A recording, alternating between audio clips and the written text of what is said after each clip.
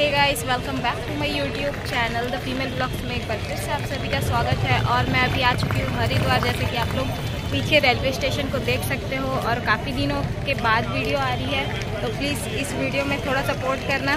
चलिए चलते हैं। हम लोग हरिद्वार में हर की पौड़ी चलते हैं। अभी फ़िलहाल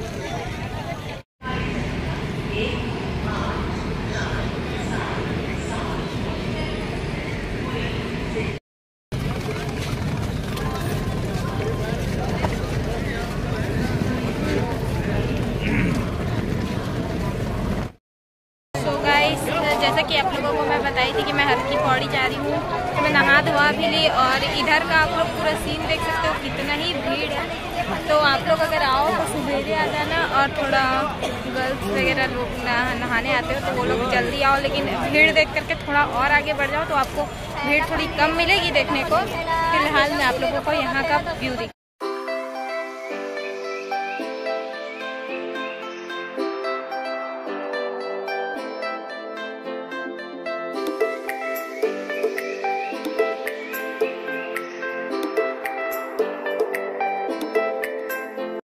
गाइस यहाँ पर इतने सारे आपको व्यू देखने को मिल जाएँगे कि आपका दिमाग नहीं काम करेगा किसी भी तरह से। क्योंकि आपको यहाँ व्यू व्यू व्यू आप जितना ऊपर जाओगे, आपको व्यू देखने को मिलेगा, एक अलग सा सीन देखने को मिलेगा। तो आप लोग यहाँ पर आओ और देखो। मेरा तो यही कहना है, क्योंकि मैं सबेरे के टाइम आई थी, भीड़ बिल्कुल नहीं था। अभी तो भाई, क्या ही बोलूँ भीड़ का। तो अभी हम जा रहे हैं।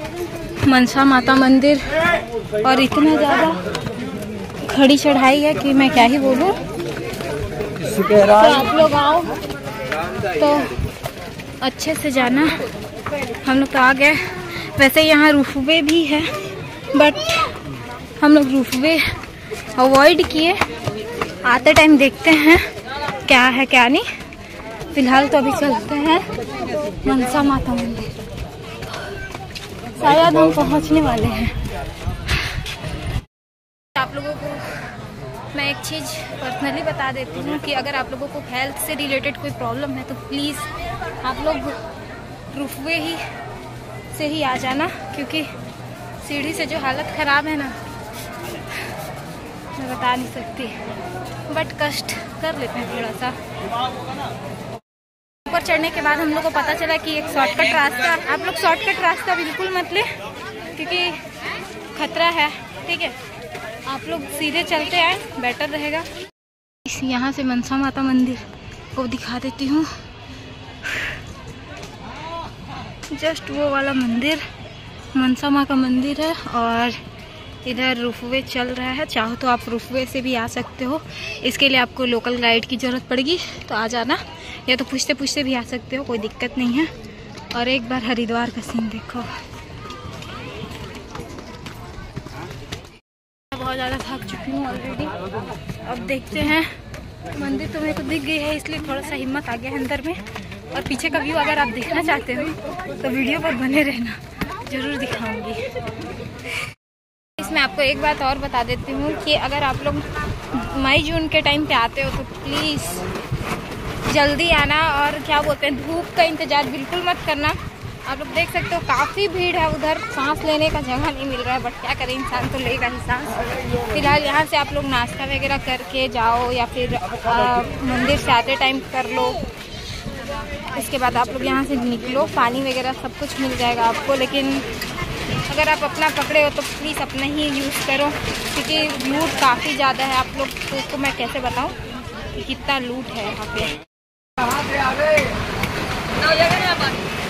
तो गाइस आप लोग यहाँ से नींबू पानी वगैरह पीते पीते वीते चल जाना, क्योंकि ये मेन मार्ग है, आप भीड़ देख सकते हो, इसके जस्ट बगल में वीआईपी वीआईपी वालों का भी दर्शन होता है बट वीआईपी दर्शन करने का कोई फ़ायदा नहीं है। होता वही दर्शन है, सब एक ही जैसा दर्शन करते हैं लास्ट तक। सो देख सकते हो आप लोग। क्या भैया बड़ी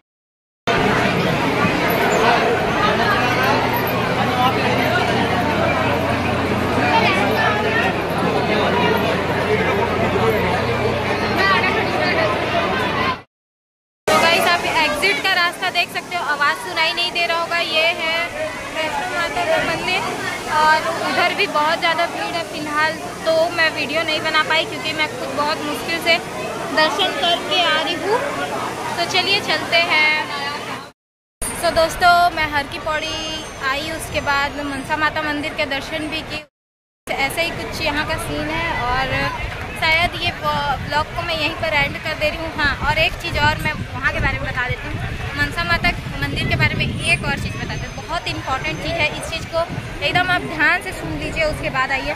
आपको चप्पल उतार लो जूता उतार लो तो आप लोग मे, मेरे वजह मेरे ब्लॉग से देख करके जाना कि आपको अपना जूता चप्पल उतारना ही नहीं है। एंड में जब आप पहुँच जाओगे तो ऑलरेडी आप लोग जूता चप्पल उतार सकते हो। इसके बाद आप लोग लोगों के बहकावे में बिल्कुल मत आना। वीआईपी दर्शन के नाम पे आपको लूटा जाएगा।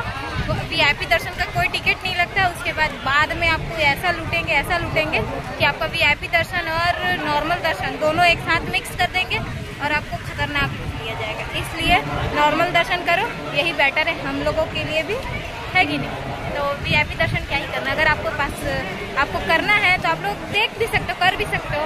ठीक है? मैं यही बताना चाहती थी तो अब मिलते हैं अपने नेक्स्ट ब्लॉग वीडियो में। तब तक टाटा बाय बाय महादेव।